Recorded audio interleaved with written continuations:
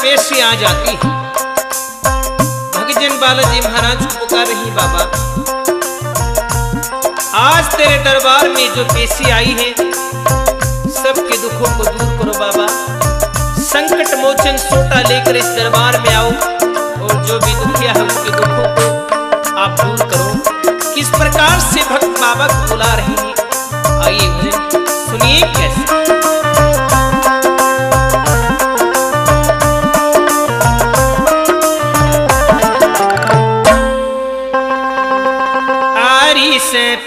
हो बाबा, बंदी लगाइए हो।